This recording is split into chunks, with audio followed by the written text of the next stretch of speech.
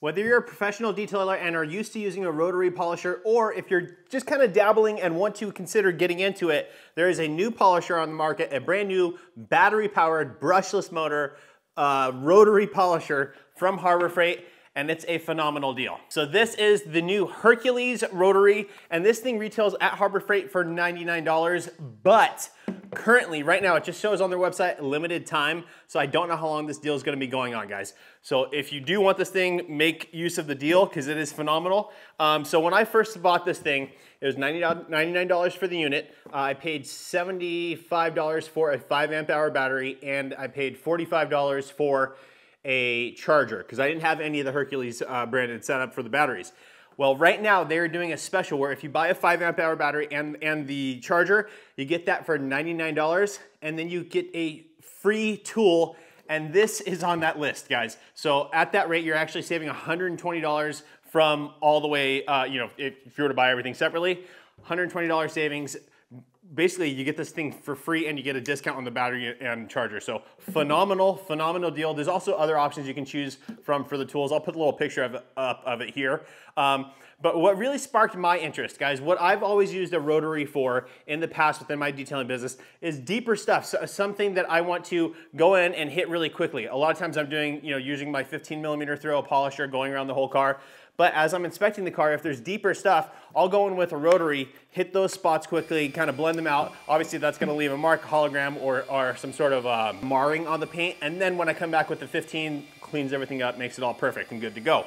However, there's been a lot of talk online. Uh, I think, I guess, I think it's uh, Ivan and Nick from DIY Detail that really brought this to light for everybody, and that is using a rotary to finish your paint. Now, they have a specific pad that they use, their jeweling pad, um, and I don't have that. I'm going to order, I want to go order, it shows that it's out of stock, but I will have that coming because to be perfectly honest, honest with you guys, I'm not the guy that used a rotary to finish. But with that said, I'm always open to new and fresh ideas for me, right? I'm not gonna sh just shut something down.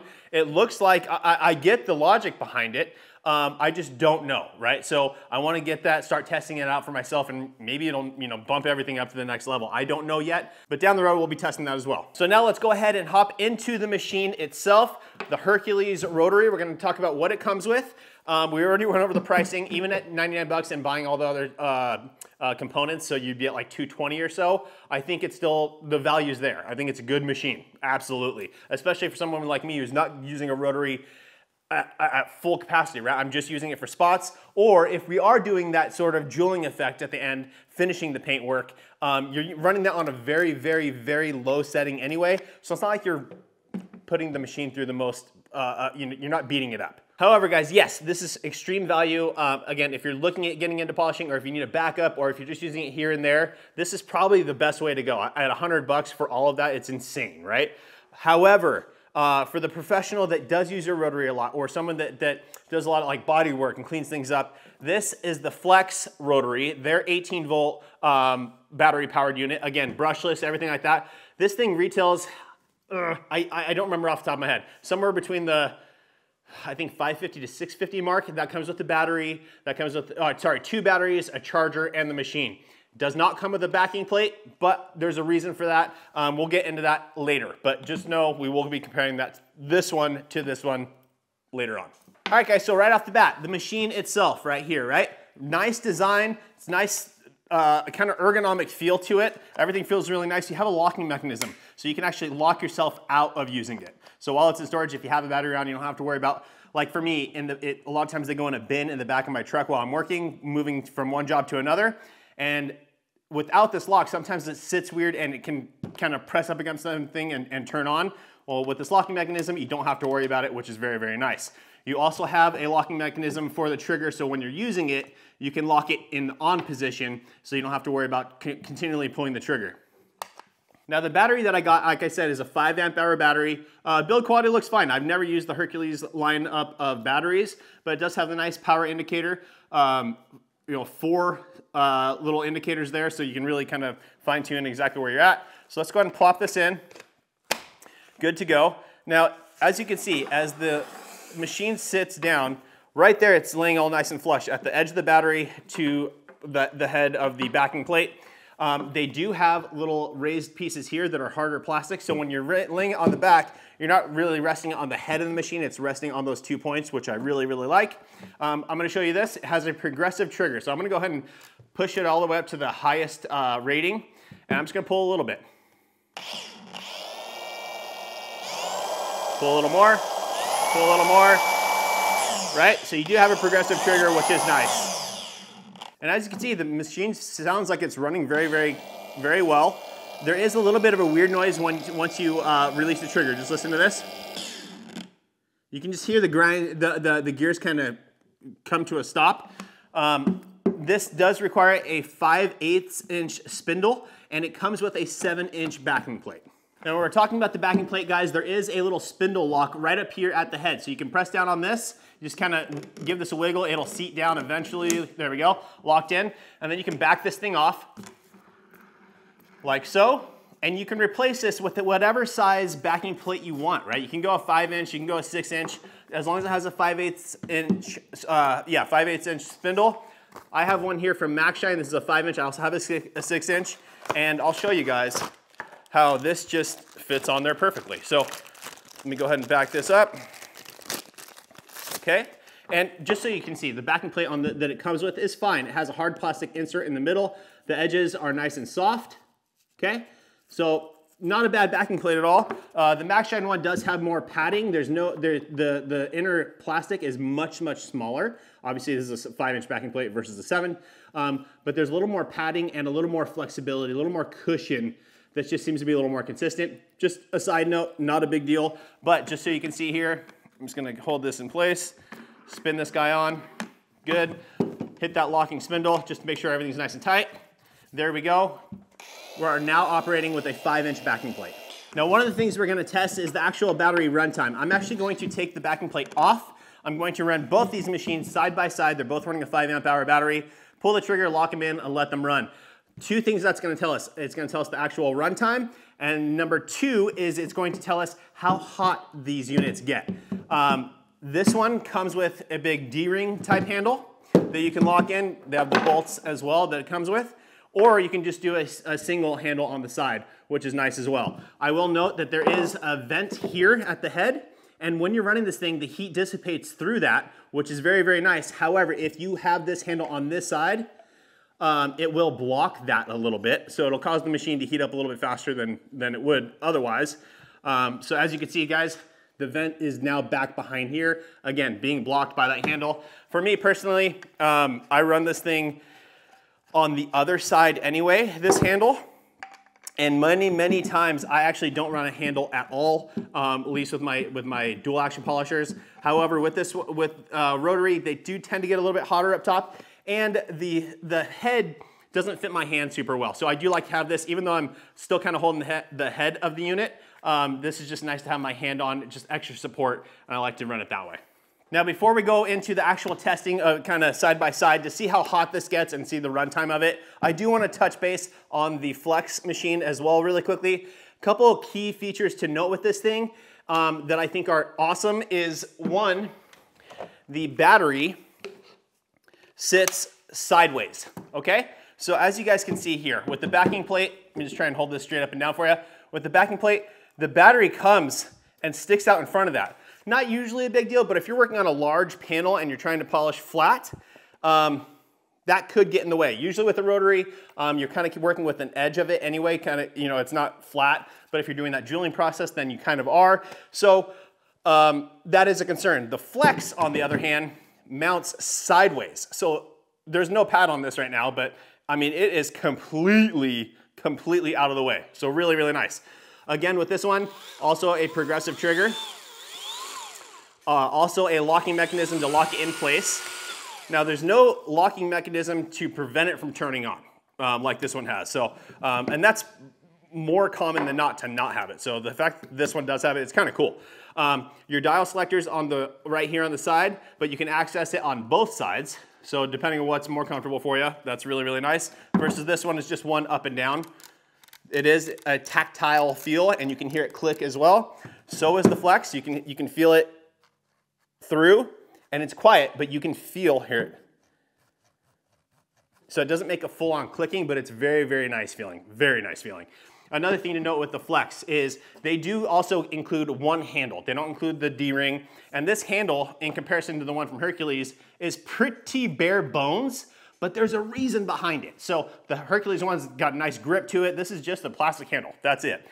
The reasoning behind it is if you look at where the spindle lock is on this machine, it's way back here, not up on the head, which is interesting, right? So I actually reached out to Flex and I said, why is that? And they said, well, it's because we set our machine it's kind of, I, I, can't remember what they, a planetary system? I can't remember how, how he explained it. Basically, the motor of it sits back further, then it runs up to here, so the, the motor actually can run at a higher speed, which internally, it, it which it, it cools itself on its own. It does have the vents here as well to blow out heat, but because it's running at a higher speed and a fan, it keeps it a bit cooler, and then the head doesn't get hot, right? So we're gonna be testing that here. We'll actually feel them side by side but the head doesn't get as hot and it is very ergonomic. So you can really just palm this thing and it's, in my opinion, the most comfortable way of using the machine. So that's why they don't give you a bunch of different um, attachments for it. Another thing, guys, is when you pull the trigger on this thing here, sounds super smooth when you let go. It just comes to a perfect smooth stop, no kind of grinding noise. It's just very, very well made. So without any going any further on this, if you're a professional and you use them all the time, yes, this is significantly more expensive, but I do think, I mean, when you compare them side by side, this is a nice machine, and at 100 bucks, like, come on, like, crazy. But this one is next level. It is a fantastic, fantastic made machine, and look at the overall footprint from head to head. I mean, quite a bit smaller, so just more compact. Um, it's narrower, it's all the above. Um, as far as weight goes, let me pull off the head or the backing plate on this one just so it's fair. Really quickly, and then we'll throw it on a scale just to see. I have no idea, and, and, and I have no idea what the difference is. They feel kind of kind of similar to me. Um, yeah, they feel similar. Again, this one just is more compact for sure. So let's grab a, a scale here. All right, so I'm gonna tear this out. It's on zero pounds, zero ounces. I'm gonna lay this down. Again, battery is on, a five amp hour battery. All right, the Hercules is coming in at five pounds, 10.3 ounces. Battery included, no backing plate. Now the Flex, I'm gonna have to put it on differently just because of the way the battery sits. Five pounds, 15.1 ounces. So very, very close. The Flex is actually coming in a little bit heavier, um, and that's not necessarily a good or bad thing, guys. Um, a lot of times it's, it's uh, the materials that they have to use. I mean, if you use more of a robust material, it's gonna add weight, but it could add to the longevity of the product, right? So there you go. They are both brushless. I will say again, this one just feels like it's next level, really, really precise, really, really nice. So uh, let's go ahead, turn the batteries on. We're just gonna let both of these run um, until they die. I'll, I'll make a note um, on how long they last and then we'll take some temperature readings up at the head. And guys, for this test, I'm gonna be running these both at full power, as, pow as powerful as they can go. Obviously that'll probably give us the least amount of runtime, but um, it'll give us you know a good expectation. If you are running it at full speed what to expect. If you're running at a lower speed you'll probably get more out of it. Both these batteries will fully charge. All I did was just show you guys the progressive trigger. Here we go. I'm gonna pull the triggers and lock them in. And there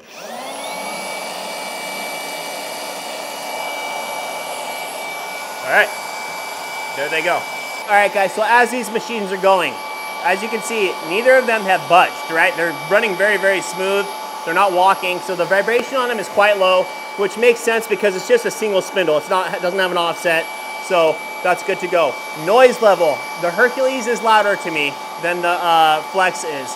It's gonna be, it's just a higher pitch, a little bit more piercing on the ear than the Flex, but again, 100 bucks, right? So uh, anyways, we're gonna keep letting these run. I'm gonna just gonna feel the head of this thing. Yep, we're getting hot for sure. Not bad, but it's definitely warming up versus the Flex, I feel some heat back here, again, where the motor is, but at the head itself, I don't feel any.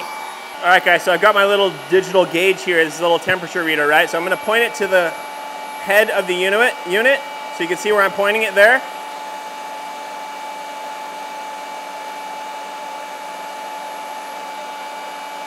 keep letting it go till it stops, I guess. 96.8 degrees. Head of the unit on the Hercules.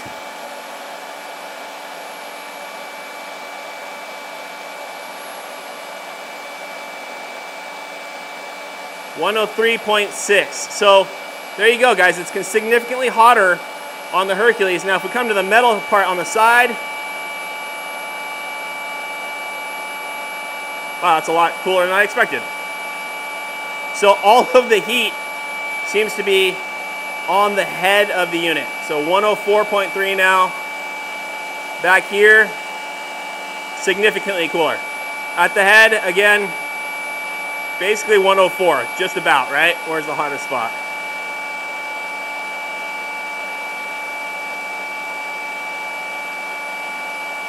One hundred three point six is what we'll give it.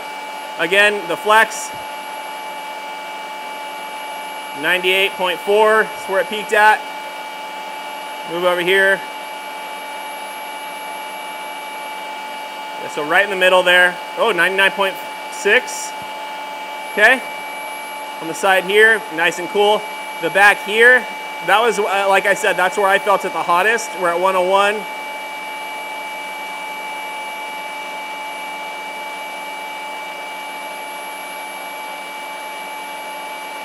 So I maxed out about 101 on the Flex, 104 on the Hercules. And just feeling them side by side, it's warm, it's not uncomfortable. Yeah, this one definitely feels like it's dissipating the heat better. Um, but like I said, three degree difference, it's not crazy. Um, so I, I have no issue with the heat on this. It is warm, but it's not like burning my hand or anything. We're currently in at about 10 and a half, uh, 11 minutes. All right, guys, we're in about 20 minutes now. I'm gonna go ahead and take another uh, temperature rating. So I'm gonna do this on my phone. All right, guys, so here we go on the Flex. On the head unit, we are now at 101.3. On the Hercules, we are at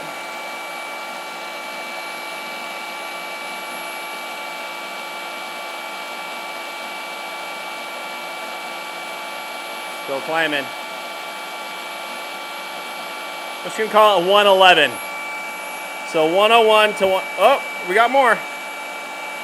102.6 to 111. So we'll call it 103 to 111. Now eight degrees is starting to make a difference. Let's go back to the body of it here.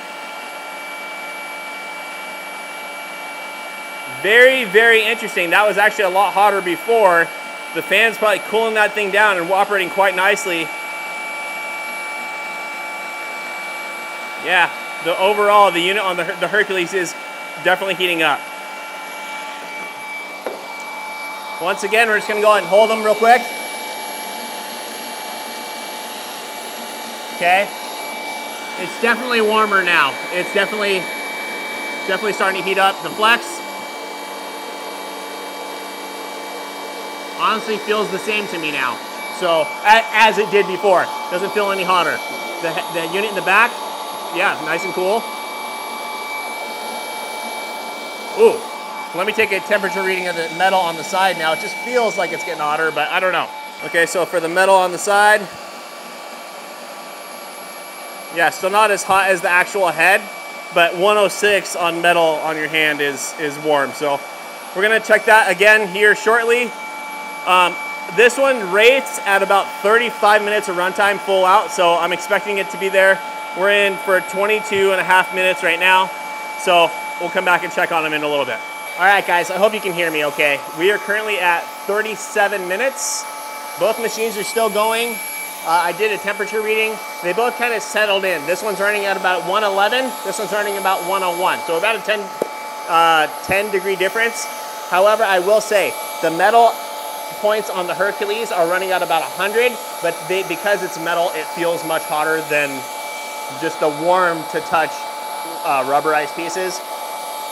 Just something to note, the Flex doesn't have any metal sticking out of it, so just something to know. All right guys, so both of these finally turned off. Again, they were at their highest setting, uh, but with zero load, right? No load of actual pressure or anything like that. The Hercules ran for 55 minutes, uh, and the Flex ran for 56 and a half minutes. So very, very close on both. Now with that said, the RPM or rotations per minute of the pad speed on the Hercules, oh, me unclick these. Uh, on the Hercules is rated from 0 to 2400 RPM. Obviously on the dial selector here, you actually, it's labeled by the RPM number. So it starts off at 800. That's the lowest speed on the selector. And then you can feather the trigger to make it less than that. But as far as the uh, selector, 800. On the flex, again, maxes out at 1450 actually. Um, and on its lowest rating, it shows 150. Um, but on selector number one on the dial, that's gonna give you 900 rotations per minute. So 900 RPM on the lowest setting uh, with the trigger fully pulled versus 800. This one maxes at 1450, this one maxes at 2400. However, with that said, guys, I know Flex does their ratings a little bit differently.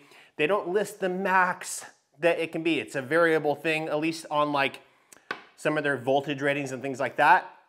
So I don't know. And do you need more than 1450? In my opinion, no, because I don't have any issue with this thing at all. Again, when we're working, uh, if you're just doing spot work, you're still, you're not running it at full speed, right? You're just kind of working it back and forth. And then if you're doing the jeweling process, you're running it at a super low speed anyway. So doesn't matter, but I do like the fact that 800 on this one versus 900 on this one on the lowest setting, so I can just lock it into place and go. All right, guys, so there you have it. Uh, the brand new Hercules rotary battery powered brushless motored uh, rotary polisher. It's a phenomenal deal. It's a absolutely phenomenal deal. And one more thing to note, guys, is the spindle. You can see the spindle is longer on the Hercules versus the Flexes. Everything nice and nice and come back. But again, when we talk about the price, even if you're not getting the deal on this thing, this would be with two batteries. Uh, let's see here. It'll be 75, 75, so that's 150, 200, 300 bucks for this polisher with two batteries, and it comes with a seven inch backing plate. Versus the Flex is right, right around that $600 mark with the battery charger and two batteries. Um, no backing plate, so you do have to factor that in as well. Um, where did, which one works for you guys? I think for the majority of people out there, the Hercules is gonna be the way to go that aren't using it all the time. But if you are a professional, guys, this thing does run insanely smooth doesn't get as hot, right? Runs really, really comfortable, a nice compact design. Just all the key little features like right with the, the battery being set to the side so you don't have, that's not ever getting in the way. Phenomenal. Really, really good machine here. Highly recommend it. But I think for the majority out there, or if you're getting into it, or if you need a backup, this Hercules is a unreal value. So go check it out, guys. I hope that video helps you. Um, that's it for today. So please make sure to like the video, make sure you're subscribed, turn on that notification bell, and we will see you on the next